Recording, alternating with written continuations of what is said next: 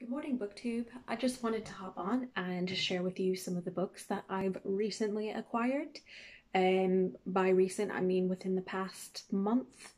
Uh, so England has just come out of lockdown, uh, which means that we can actually go into non-essential shops. So it's been just really enjoyable going to the local bookstore and having a wander and browsing shelves um, and just spending a real long time in in there just back in paradise.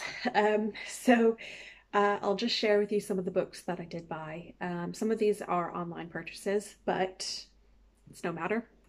So I'll uh, I'll go ahead and make a start. So one of the books that I'll start with I did just finish this book. I will be doing a separate review on it, and I did just um, feature this in my um, most recent weekly reads, but the one that I was really excited for is The Red Prince, John of Gaunt by Helen Carr. If you're familiar with me, you know that I like to read a lot of popular history and uh, medieval biographies. Um, and uh, as soon as I picked this up, I started reading it and um, I, I, did really enjoy it. Um, in the other video that I did on weekly reads, I had said that I'll be doing a separate review and that I didn't rate this as highly as, um, you know, some of the other popular histories that I've read, and I'll explain the reasons for that. Do I recommend this? Yes, definitely. Um, but I'll, I'll explain more of my critical thoughts uh, further in a different video. So yes, that's on, on John of Gaunt, The Red Prince.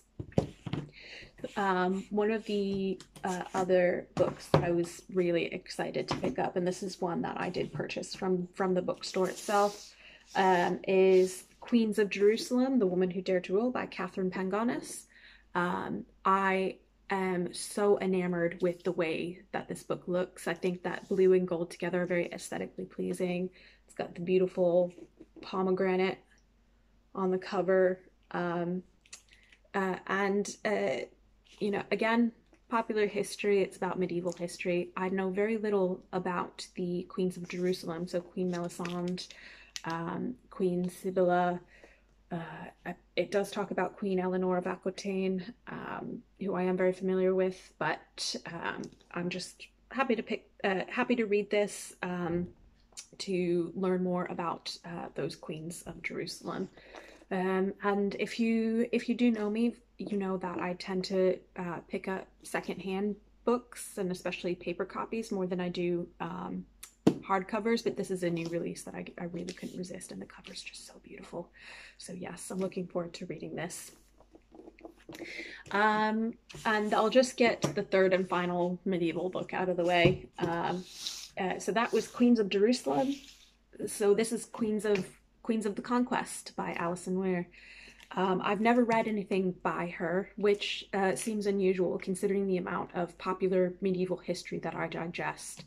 Um, but I thought I would give this a go. Um, I found this um, found this online for for a good price, so why not? So this is about Matilda of Flanders, uh, William the Conqueror's wife, um, the Empress Maud, otherwise known as the Empress Matilda, who I have read quite a bit about.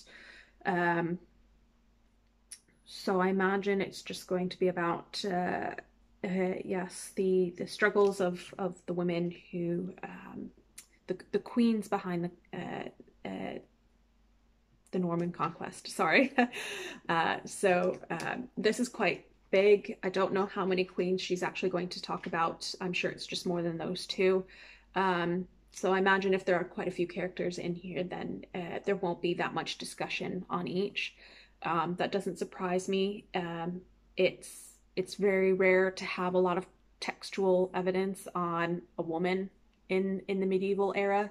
It's normally just about uh, the kings, but uh, I'm sure um, I'm sure she'll do a good job of uh, explaining explaining as much as she can and interpreting the events um, from their perspective. But yes, so that's Queen of the Conquest, uh, England's Medieval Queens by Alison Weir. Um, so those were the medieval books that I've picked up. Um, I've got two, two other books that I'll mention. And Uh, this book I only picked up this past week, and it's called A Short History of Humanity How uh, Migration Made Us Who We Are. And this is by Johannes Krause and Thomas Trappe. And I picked this up because one of the books that I did read recently and um, I've done a review for is The World Before Us by Tom Higham. Um, so, Johannes Krause, he is the director of uh, the archaeogenetics department at the Max Planck Institute. So a lot of the specimens um, that uh, are uh, that we try to obtain DNA extracts from uh, pass through his lab in at the Max Planck Institute. So um, I'm expecting quite uh, a lot of um, interpretation from him. A lot of I'm, I'm sure he's you know he is one of the the the renowned the world renowned um, experts on on archaeogenetics so i'm expecting some good things from this book about human migration not just about um, homo sapiens but uh, he talks about homo erectus neanderthal neanderthals the denisovans um, and a lot more recent um, examples as well. So the varna culture and the pharaohs sorry that's recent for me because if you're familiar with me my my expertise is the middle paleolithic. So neanderthals um, you know, which are over 300,000 years old. Um, so yeah, I'm looking forward to that um, and uh, reading what he has to say about how DNA can form us about uh, migrations in the past. And then the final book that I want to mention, and uh, I'm quite pleased with myself because I am branching out, A, not into um, just fiction. I, I don't read that much fiction, but this this is a topic or a genre that I don't read at all. And that, uh, well, not that much. I think I've probably read maybe three horror books in my life. Um, so this is about, uh, this is called American Supernatural Tales, and this is a Penguin Classics book edited with an introduction by S.T. Joshi. Um, so this is a collection of short stories. So um, these are these are stories that I can easily digest quickly. I don't have to read this in one sitting. I can just read whichever short stories I, I want to. Um, I but I've been watching a lot of booktubers who do have an interest in horror. Um, and I'll put the links in the description. And uh, because I'm panicking now, I can't remember their names, so I'll, I'll, include them in the description. Sorry, but anyways, I've been reading. Um, I've been watching a lot of um, YouTubers who do like uh, horror, so they've inspired me to pick up something new. Um, which is the point of booktube isn't it you want to share what you like to read and hopefully along the way you'll you'll pick up um, you'll be inspired to read things that you don't normally gravitate to so uh, yes uh, straight off the bat, I'm sure that I'll be interested in reading um, Nathaniel Hawthorne, Washington Irving. Um, my husband's a huge fan of H.P. Lovecraft, um, and there's a short story in here that I'm sure I'll I'll, I'll read for the sake of of him. Um, there's some Shirley Jackson. I do like Shirley Jackson. I've read some of her short stories. Ray Bradbury. Um, so you know a lot of well-known American authors. There's even Stephen King in here. Um, so yeah, I, I do look forward to reading some short stories, and I'll uh, probably read these before I go to bed. Hopefully, they don't scare me.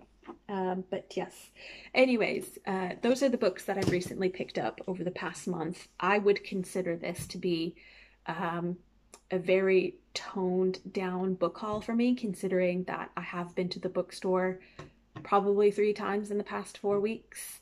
Um, and uh, but I, I suppose on the flip side, I have picked up a lot more hardcovers and new releases as well, which I don't normally do. But um, I was, really giddy when I saw them and, and couldn't resist or uh, wait for the paperback versions. But um, hopefully uh, you've enjoyed those. Maybe you might pick those up.